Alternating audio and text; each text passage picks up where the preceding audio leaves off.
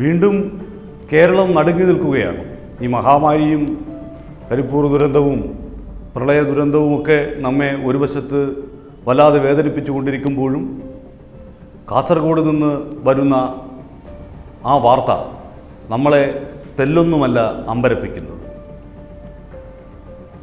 തന്റെ അച്ഛനെയും അമ്മയെയും സഹോദരിയെയും വിഷം കൊടുത്ത് കൊല്ലാൻ ശ്രമിച്ച കൗമാരക്കാരന്റെ ആ മനസ്സ് കേരളം വീണ്ടും ചർച്ച ചെയ്യുകയാണ്. പിണറായി കൂട്ടക്കൊലക്കേസ് സൗമ്യ എന്ന സ്ത്രീ തന്റെ കുടുംബാംഗങ്ങളെ വകവരുത്താൻ നടത്തിയ ശ്രമം. പിന്നീട് കൂടത്തായിയിൽ ജോളി നടത്തിയ കൊലപാതക ശ്രമം. ഉത്ര എന്ന പെൺകുട്ടിയെ കൊല്ലാൻ ഭർത്താവ് നടത്തിയ ശ്രമം. ഇതൊക്കെ സമീപകാലത്ത് കേരളം വളരെ ഗൗരവത്തോടുകൂടി ചർച്ച ചെയ്യുകയും ആ കേസുകളിൽ പ്രതികളായവരൊക്കെ കൃത്യമായി തന്നെ പിടിയിലാവുകയും ഒക്കെ ചെയ്തതിന് ശേഷവും ആൽബിൻ എന്ന ഈ കൗമാരക്കാരന് തന്റെ കുടുംബത്തെ വകവരുത്താനുള്ള ആ മാനസികാവസ്ഥ ഉണ്ടായല്ലോ എന്നുള്ളതാണ്. നാലര ഏക്കർ സ്വത്തിന് വേണ്ടിയാണ് വേണ്ടിയാണത്രേ. കുടുംബാംഗങ്ങൾ മുഴുവൻ വിഷം കഴിച്ച് ആത്മഹത്യ ചെയ്തതാണ് എന്ന് വരുത്തി തീർത്തു കഴിഞ്ഞാൽ ആ നാലര ഏക്കർ സ്വത്ത് തനിക്ക് വരും എന്നുള്ള ചിന്ത അതുകൊണ്ട് സുഖമായി ജീവിക്കാമെന്ന് കരുതിയത്രേ. പിണറായിയിലും കൂടത്തായിയിലും പുത്ര കേസിലുമൊക്കെ സംഭവിച്ചത് ഈ ചെറുപ്പക്കാരൻ അറിഞ്ഞില്ല എന്നുണ്ടോ?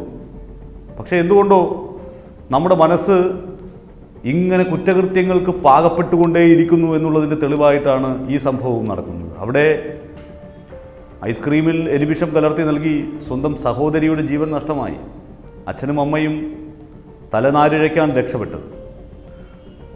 ആ സഹോദരി തുടക്കത്തിൽ മഞ്ഞപ്പിത്തമാണ് എന്നുള്ള ധാരണയിൽ ഏതോ നാടൻ വൈദ്യന്റെ അടുത്ത് കൊണ്ടുപോയി അത്രേ. അത് കുടുംബാംഗങ്ങൾ ചെയ്ത മറ്റൊരു വലിയ പാതകം ആദ്യമേ അതിന് വിദഗ്ധ ചികിത്സ നൽകാതെ നാട്ടുവൈദ്യമൊക്കെ പരീക്ഷിക്കാൻ നടന്നു. പിന്നീട് ഗുരുതരാവസ്ഥയിലായി സ്വകാര്യ ആശുപത്രിയിൽ വെച്ച് മരിക്കുന്ന സ്ഥിതിവിശേഷം ഇങ്ങനെ ഐസ്ക്രീമിൽ ഈ വിഷം കലർത്തി നൽകിയപ്പോൾ തനിക്ക് തൊണ്ടവേദനയാണ് എന്ന് പറഞ്ഞ് അത് കഴിക്കാതിരുന്ന ആൽബിന്റെ ആ മാനസികാവസ്ഥ ഒന്ന് ആലോചിച്ച് നോക്കൂ. ഇതിനു മുമ്പ് കോഴിക്കറിയിൽ വിഷം കലർത്താൻ ശ്രമിച്ചത്രേ.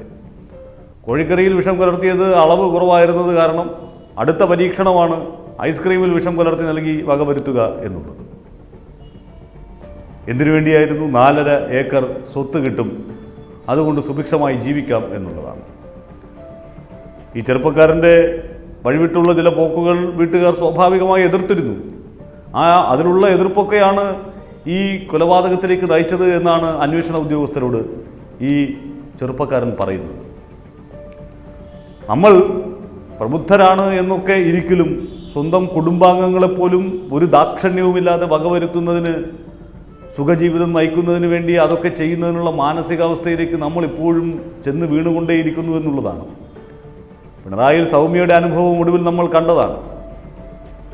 ആ കുറ്റബോധത്താൽ നീറി നീറി നിയമത്തിന്റെ അന്തിമ വിധി വരുന്നതിന് മുമ്പ് തന്നെ ഒരു സാരിത്തുമ്പിൽ ജയിൽ വളപ്പിൽ ജീവനൊടുക്കേണ്ടി വന്ന ആ സ്ത്രീയുടെ അനുഭവം നമ്മുടെ മുന്നിലുള്ളതാണ്. കാരണം പിന്നീടൊരവസ്ഥയിലേക്ക് ആ കാരാഗ്രഹത്തിൽ കിടക്കുന്ന അവസരത്തിൽ സ്വാഭാവികമായ ഒരു മനുഷ്യനാണെങ്കിൽ ആ കുറ്റബോധമുണ്ടാകും മറ്റൊന്നും ചെയ്യാനില്ലാതിരിക്കുന്ന ആ ഇടത്ത് നിരന്തരമായി നമ്മുടെ മനസ്സിലേക്ക് നിറഞ്ഞു നിൽക്കുന്നതൊക്കെ ആ ചിത്രങ്ങളായിരിക്കും. അപ്പോൾ പിന്നെ പിടിച്ചു നിൽക്കാൻ സാധിക്കില്ല. കൊടുത്തായി കൊലപാതക പരമ്പരയിലെ പ്രതിയായ ജോളിയും ജയിലിനുള്ളിൽ കൈഞ്ഞരമ്പ് മുറിച്ച് ആത്മഹത്യയ്ക്ക് ശ്രമിച്ചു.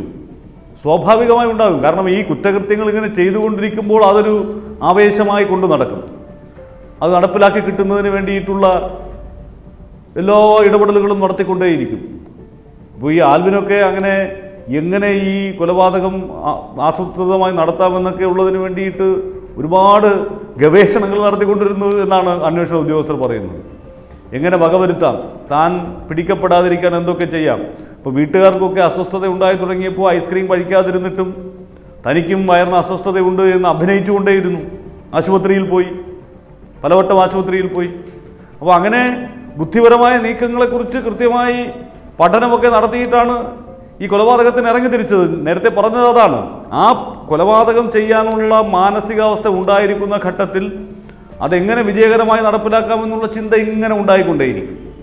പക്ഷേ പിന്നീട് ഒരു ഘട്ടം എത്തുമ്പോഴാണ് കുറ്റബോധത്താൽ നീറിപ്പുകഞ്ഞു തുടങ്ങുന്നത്. അപ്പോൾ എല്ലാം കഴിഞ്ഞു പോയില്ലേ? പിന്നെ ഒരു വഴിയില്ല. അവിടെയാണ് സൗമ്യ സാരിത്തുമ്പിൽ ജീവൻ ഒടുക്കിയതും ജോളി കൈഞ്ഞരമ്പ് മുറിച്ച് ആത്മഹത്യക്ക് ശ്രമിച്ചതുമൊക്കെ. ഒരു വേള കുറ്റബോധത്തിന്റെ അവസ്ഥയിലേക്ക് നമ്മൾ എത്തപ്പെടുമെന്നുള്ള കാര്യത്തിൽ സംശയമില്ല. ഞെട്ടിക്കുന്ന യാഥാർത്ഥ്യങ്ങളിലേക്കാണ് നമ്മൾ പിന്നെയും ഈ സംഭവങ്ങളുടെ തുടർച്ച ഇങ്ങനെ ഉണ്ടായിക്കൊണ്ടിരിക്കുമ്പോൾ എത്തപ്പെടേണ്ടത്. നമ്മുടെ കേരളത്തിലെ ചെറുപ്പക്കാരുടെ സ്ത്രീകളുടെ ഒക്കെ മാനസികാവസ്ഥയിൽ ഇത്തരത്തിൽ കൊടും ക്രൂരത ചെയ്യുന്നതിന് വേണ്ടിയിട്ടുള്ള ഒരു പാകപ്പെടൽ എങ്ങനെ ഉണ്ടായി എന്നുള്ള ചിന്ത. പലവട്ടം നമ്മൾ ചർച്ച ചെയ്ത വിഷയം തന്നെയാണ്. ഇപ്പോഴും ഈ ക്രിമിനൽ മനസ്സ് സുഖലോലുപത തേടിയുള്ള യാത്രക്കിടയിൽ തങ്ങൾക്ക് എതിരായി നിൽക്കുന്ന ആളുകളെ വകവരുത്തുന്നതിന് വേണ്ടിയിട്ടുള്ള ഒരു മാനസികാവസ്ഥ രൂപപ്പെടുന്നുണ്ട് എന്നുള്ളതാണ്. ആൽബിന്റെ കാര്യത്തിലും സംഭവിച്ചതാണ്. സ്വന്തം സഹോദരി അമ്മ അച്ഛൻ. അച്ഛനാണെങ്കിൽ ഒരാഴ്ച മുമ്പാണ് മുമ്പാണത്രേ പുതിയ ഫോണൊക്കെ വാങ്ങി നൽകിയത്. അങ്ങനെയുള്ള ആ കുടുംബത്തോട് എങ്ങനെ ഈ ക്രൂരത കാട്ടാൻ സാധിച്ചു എന്നുള്ള ചോദ്യം നമുക്കിങ്ങനെ ചോദിച്ചുകൊണ്ടിരിക്കാമെങ്കിൽ പോലും ആ ചെറുപ്പക്കാരന്റെ മനസ്സിലേക്ക് വന്ന ആ പക അത് തിരിച്ചറിയാനാണ് നമ്മൾ ശ്രമിക്കേണ്ടത് അത് ഒരു ആൽബിന്റെ മാത്രമോ അല്ലെങ്കിൽ ഒരു പിണറായിലെ സൗമ്യയുടെ മാത്രമോ കൂടത്തായിലെ ജോളിയുടെ മാത്രമോ പ്രശ്നമായി നമ്മൾ ഓരോ ഘട്ടത്തിലും കാണുന്നു. അതങ്ങനെയല്ല പലയിടത്തും അത്തരം മാനസികാവസ്ഥകൾ രൂപപ്പെട്ടുകൊണ്ടേയിരിക്കുന്നു എന്നുള്ളതിന്റെ ഒടുവിലത്തെ ഉദാഹരണമായി ആൽബിന്റെ ഈ സംഭവവും നമ്മുടെ മുന്നിൽ നിൽക്കുകയാണ്.